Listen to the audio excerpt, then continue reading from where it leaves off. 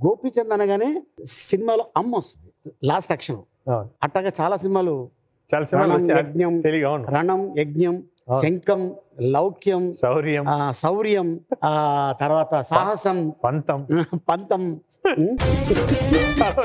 అమ్మయ్య ఈ ఎనిమిది అయిపోయినాయి ఇంకో రెండు చేస్తే ముచ్చటగా పది అయిపోతాయేమో అనుకుంటున్నాను నేను.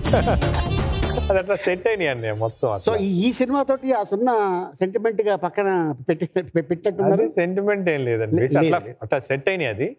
భీమా టోటలీ డిఫరెంట్ అది. మంచిదైంది భీమా అని పెట్టాడు భీమం అని సార్? ఆ సెంటిమెంట్ నాకు లేదు బేసిక్లీ లేదు అంతే. అలా కుదిరింది కుదిరినాయి అంతే. ఓకే.